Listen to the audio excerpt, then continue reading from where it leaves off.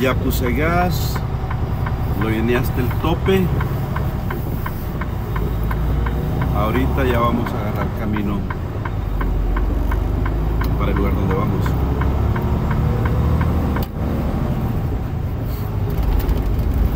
Así es que ahorita vamos a ver cómo están las condiciones de tráfico ahí en el freeway. Vamos a ver si la gente todavía está en sus casitas o, o se está reintegrando al trabajo. Eso es lo que vamos a ver ahorita. Este es un día jueves, jueves 26 de marzo del año 2020. Cuando según mis cuentas tenemos ya viernes, sábado, domingo, lunes, martes, miércoles, jueves, viernes, sábado, domingo, lunes, martes, miércoles, jueves. Según mis cuentas, ahorita serían 14 días ya de lo que es la, cuarentena que declararon aquí en, Estados Unidos. A mí no la cuarentena, el, el estado de emergencia que declararon. Pero según el presidente, yo voy adelantado dos días, porque realmente, efectivamente fue implementada en el día lunes, o sea, dos días después o tres después de lo que yo pensé que es el viernes. Entonces ahorita estaríamos el día 8, 9, 10, 11. Estaríamos en el día 12 de lo que es el estado de emergencia aquí en California.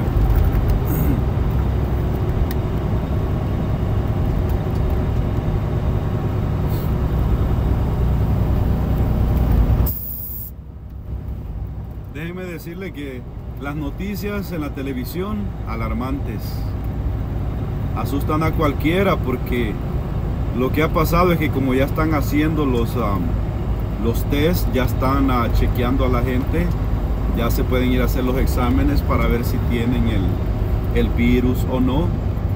Entonces esto ha dado a que los casos que han salido positivos ahora estén reflejados en, en, el sistema de contabilidad o de, o de reporte que tiene el sistema de salud. Entonces eso hace que los números se vean súper grandísimos y que han crecido un montón. Pero en realidad uh, no hay nada por qué alarmarse. O sea, sí está saliendo gente enferma. La única diferencia es que ahora sabemos quiénes lo tienen y sabemos quiénes no. O sea, ha sido proporcional. O sea, antes no se, no se estaba haciendo el test básicamente yo creo que sabían que lo tendía ya cuando llegaba al hospital y la persona ya casi se estaba muriendo. Y ahora no, ahora lo que está pasando es que están abriendo centros de, de uh, lugares móviles para que la gente que tiene estos síntomas se pueda ir a chequear. Entonces han habido colas enormes, o sea que ha estado la gente acudiendo a estos lugares a hacérselos. Entonces eso ha dado como resultado que incrementen los casos positivos, pero no es porque no hayan habido. Allí estuvieron siempre, lo único que ahora sí ya están registrados. So, así es que yo diría que a la gente que no se alarme mucho, eso es algo que, que al final de al cabo no va a ser la diferencia de lo que tenga que pasar porque el que se va a infestar se va a infectar, infectar, perdón, o nos vamos a infectar, nos puede pegar. Y el que ahorita estén saliendo los resultados a la luz no, no hace que hayamos estado más seguros hace 10 días o hace 5 días, es lo mismo. Lo único que sí ahora va a crear un poco más de conciencia porque la, gente sabe que esto es real. la gente sabe de que sí la gente se está contagiando y entonces no, no, no lo están tomando ya muy a la ligera como era antes. Porque estamos hablando que tenemos casos cerca de donde yo vivo. Ayer dijeron que habían en Moreno Valley, en Riverside, hay también casos. Han aumentado, pero es por eso, o sea, la situación que han aumentado es por eso, porque están haciéndose ya la gente los exámenes y están, este, como se dice, están ya reportados, porque es por ley que si usted sale positivo en ese examen, lo tienen que reportar al sistema de salud. No sé cómo se llama la identidad, pero sé que hay una dependencia donde el doctor o quien haya hecho ese test lo tiene que reportar. Y esas personas, es obvio, lo están poniendo en,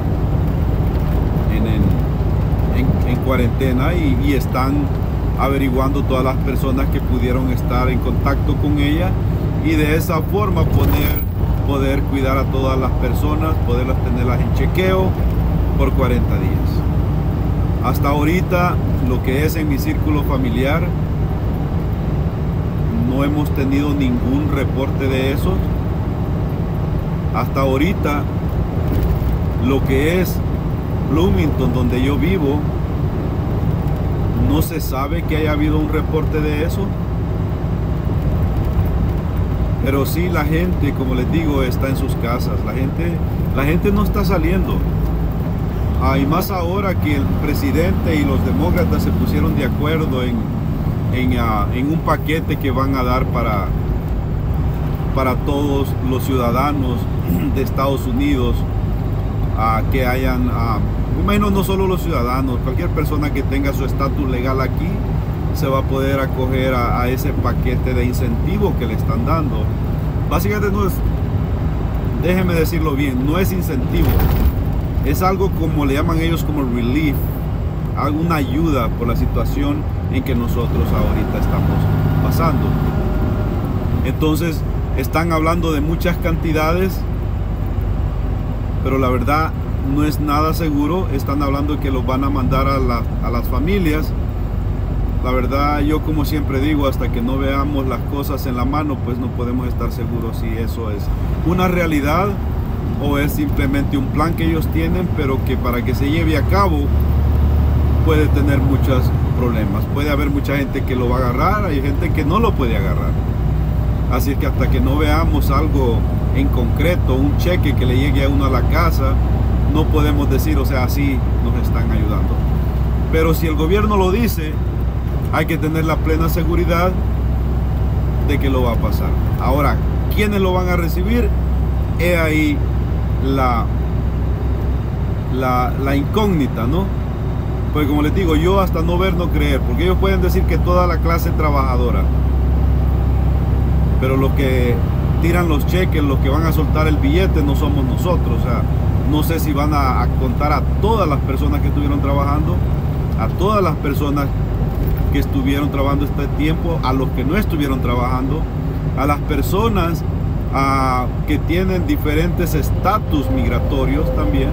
Uno no sabe si van a calificar, pero sí sé que han tirado mucho dinero, sí sé que han tirado mucho dinero para el sistema de salud también, para que la gente que trabaja en ese sistema ah, no se sienta sola, no se sienta que lo que está haciendo lo está haciendo solo por amor. También va a haber una, un consuelo, va a haber una remuneración, aparte de las gracias y, lo que todas las personas vamos a, tener por ellos, vamos a estar agradecidos, va a haber una remuneración al final.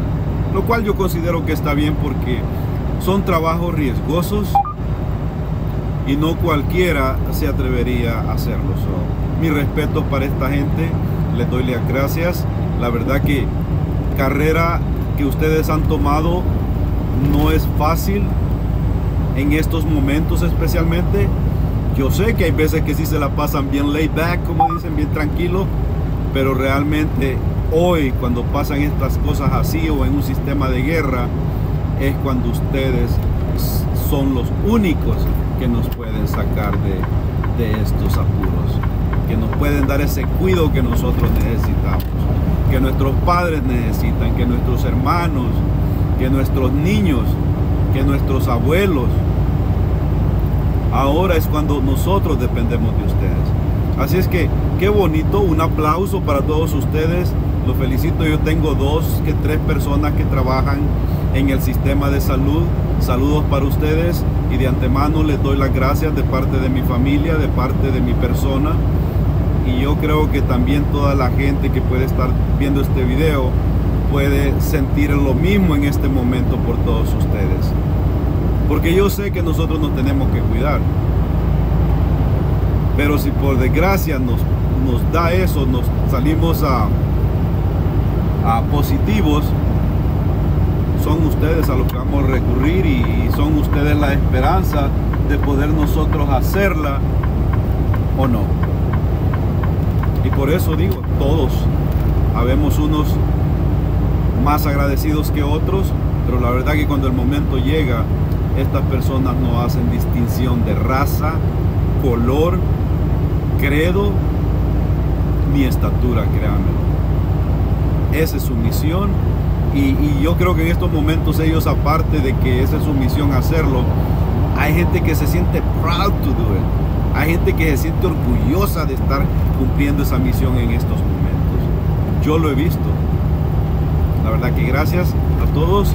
Y les decía que la idea de todo esto es darle la idea a cómo está el freeway. Y miren ahorita cómo está. Se puede decir que según mis cálculos, cuando son las 3 con 43 minutos de la mañana, esto se podría decir que, que está un 90% el tráfico normal. A esta hora básicamente está así. So, diríamos que está faltando como un 10% que no se está reintegrando al trabajo. Espero como siempre que la gente que anda aquí afuera ande haciendo algo importante. Espero como siempre que la misión de ellos sea ir a trabajar y regresarse. Espero que la misión de todos ellos sea el, el aliviar con su trabajo en parte el miedo, el pánico que muchas personas puedan tener por esta situación.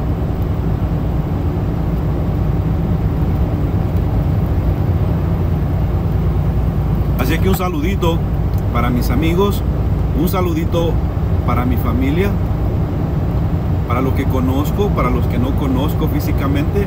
Espero que donde quiera que estén, estén bien. Cuídense mucho, tengan mucho cuidado.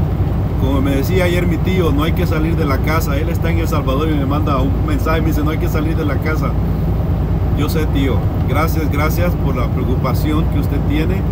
Y por favor, ustedes allá también, donde quiera que estén, en México, Nicaragua, Guatemala, Honduras, El Salvador, Estados Unidos, a estados de Nueva York, Houston, Texas, Arizona, Memphis, Luisiana, Florida, donde quiera que estén, cuídense. Si no tienen nada que salir a hacer, no lo hagan. No hay necesidad de que ustedes estén aquí afuera.